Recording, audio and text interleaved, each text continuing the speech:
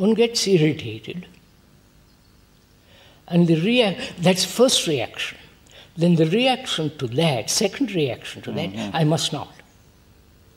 Then the third reaction I must control mm-hmm. or justify or whatever it is. So it's constantly action and reaction. Hmm? Can one see it's a movement,